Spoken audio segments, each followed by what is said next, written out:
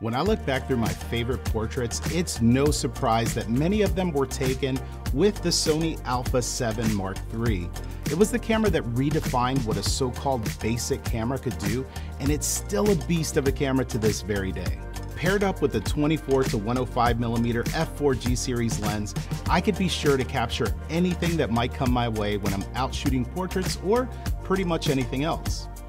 If you're looking to level up your photography, this setup is one that you should look into. And right now, there's special bundled savings on this killer combo. Be sure to check out the link in the description for more details.